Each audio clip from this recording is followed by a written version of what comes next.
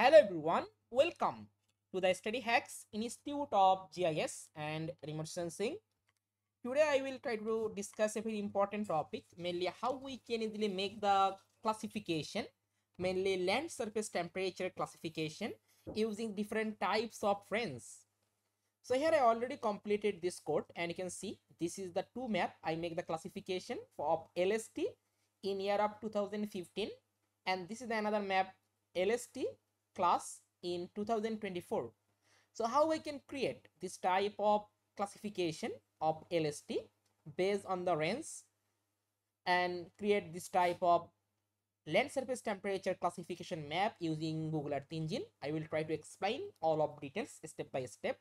Then I hope you can easily do this type of analysis. Not only for that, any classification based on a specific range, you just follow the same process. So you can see this is the map for in year of 2024 uh, and we try to classify total seven class based on the range. And also you can see this is the map for land LST map in class 2015 okay? So we find out the lot of changes. Okay?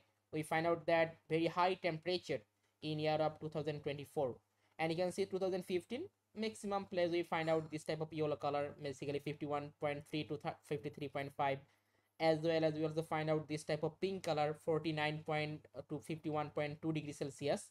But you can see in 2024 it increased. Okay we find out the 55.9 or 58.9 this type of place. Also you find out that this type of color you can see it indicating about the 53.6 to 55.8 degrees celsius. So now how i can create this type of things i will try to explain. Then you can easily do this type of analysis. So let's back to the code so first of all here you can see first of all you need to import your study area. So in this case i simply filter the study area for the riyadh. So this is the riyadh boundary. I just simply filtered and then i just use here the landsat image collection. Okay for the landsat image collection we just apply the cloud mask function. So this is the cloud mask function here you can see. So this is the this function i create and then I simply uh, set equal to zero signal. Zero signal means that there is not much cloud. It's a clear condition indicating about the clear condition. So this function helped me to remove all of cloud from my Landsat imagery. And then this is the visualization parameter we try to add in here. And then we make the data for 2024. So in this case, I just simply call the Landsat image collection, Landsat 8 and fill the time period for my specific time period. So in this case i put the time period uh, june to august. And this is my study area. I simply filter bounds with my study area. And i take the less than one percent cloud cover imagery. And this cloud mask function this cloud mask function simply connect with my collection using the map function. And then create the median and clip with my study area. Then we simply apply the normal process such as make the lst okay so calculate the ndvi then emissivity then calculate the fractional vegetation. So this type of normal procedure just apply in here. You already know about that. And also calculate the thermal band and the same procedure I apply. And then we calculate the lst map okay? So further the same process also apply for in year of 2015 just take the image collection and also filter the time period for 2015 and then we simply just calculate the all of ndvi emissivity then fractional vegetation, thermal 2015, same process we try to apply and then calculate the LST for 2015.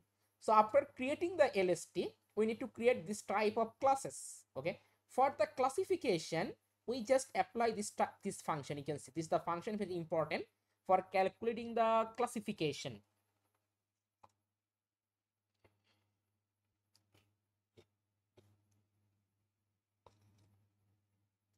In this function if you check we simply create a function and then we just apply this type of things lst less than equal 31.1 to lst less than uh, equal 36.3 so just simply put the range okay based on our um, requirement okay this function. This function we simply connect with our map lst map for 2024 and 2015 okay. So you can see just i simply connect this is a function variable name classify lst connect with the lst map 2024 and also lst map 2015 then further we can simply visualize this type of map and we can get this type of result. So this process you can also apply for any classification based on your specific range. In this case i try to show you that for lst you can also apply it for ndvi classification ndwi classification or anything. Just apply the same process so this is the way okay you can easily create and further you can also export this type of map and also make the ArcMap or QGIS software to make the map for your research paper presentation. So this is the way. And further, you also try to add the legend and also display this map look like this way. So this is the way to create this type of classification of LST. The same thing you can also apply for NDVI or any other classification based on your specific uh, range. So this is the way. Uh, I hope this tutorial will also help you. And if you have any question or any doubt you can simply just comment. I also give the answer about this comment. And in the meantime i also give you an announcement for upcoming online training program. So this uh, is the online training program on google earth engine for beginners to advanced level. If you have no knowledge about the google earth engine or if you have no knowledge about the coding don't worry about that. You can learn all of those from beginners to advanced level in this online training program. So this class will be start from the 11th april.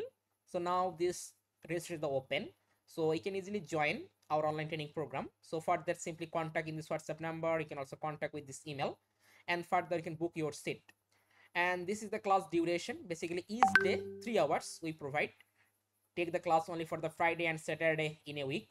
You can get all of those uh, course content from this website link. I already added the link in the video description. Simply check out and then read all of course content for that each day what you learn so basically three hours for the live training, one hours for the problem solving class. And you can get some benefits such as you can get the course certificate. You can get that also all of materials, mainly slide, PDF. You can get the practice code. You can get also recorded class. Okay, if you miss any live session, then you can easily cover using the recorded class. And also get the lifetime teaching support regarding this online training program. Okay, any support for any time you can get it as well as you also get the research collaboration support regarding any topic if you are interested to publish the scientific paper regarding any topic you can get the support and further you can also make the publish the research paper. So if you want to join our upcoming online training program just simply contact in this email and also contact with this whatsapp number and then jump to the google earth engine and explore the different types of advanced remote sensing analysis. So today is no more. Thank you for watching that. Stay happy. Stay safe